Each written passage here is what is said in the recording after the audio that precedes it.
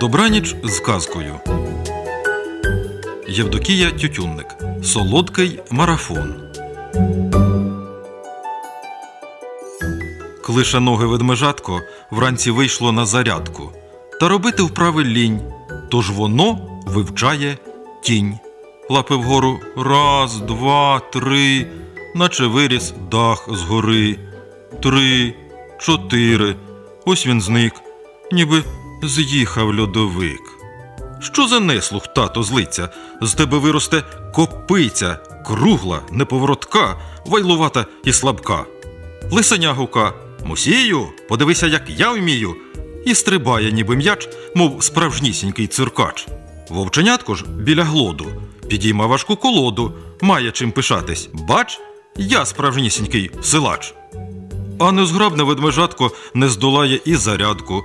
Хоч дебеле, а проте воно дужем не зросте, тре свої маленькі очі. Я не можу і не хочу, не виходить до пуття, не спортивне я дитя. Як лінивцю іншим стати, є ідея влисеняти. Наш мусій таки ласун, тож гукнув малий пустун. Де скрипить стара ялина, перестигла вже ожина, а солодка, а смачна буде першому вона.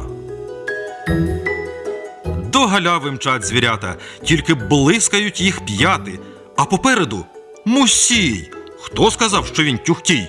За солодку нагороду він здолає перешкоди і осилить марафон, клишоногий чемпіон. Він без втоми і напруги перескочить всі яруги, як поставлять на пеньку миску меду, от таку. Раді друзі, радий тато тиснуть лапу ведмежаті, щоб талант відкрити, слід мати власний свій підхід.